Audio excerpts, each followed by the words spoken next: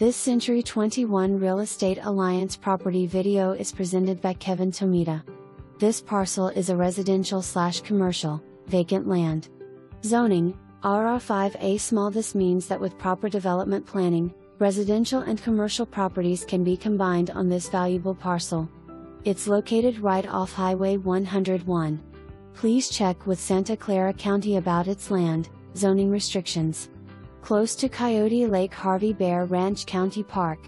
For more information, review the details below.